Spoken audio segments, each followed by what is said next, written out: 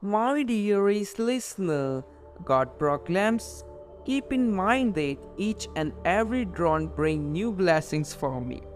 God advised, don't quit up because of terrible day. Instead, be glad because tomorrow will bring a new reward. God announced this week, prioritize me in all of your calls and I will make you clear. Enjoy the start of new week. Type Lord is everything if you believe in this. God says, My child, although I didn't because you're re-suffering, you are suffering, I can still help you through it. After you say this prayer you receive, you will receive a large amount of money from an unexpected source. God has something wonderful in store for you. You're almost there.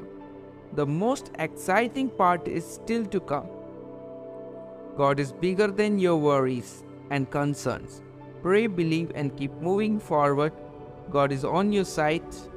Aloud, I'm convinced that you can assist me. I'm everything inside my mind too. I know you will always keep your commitment to me and trust in the strength of belief and God's purpose for your life.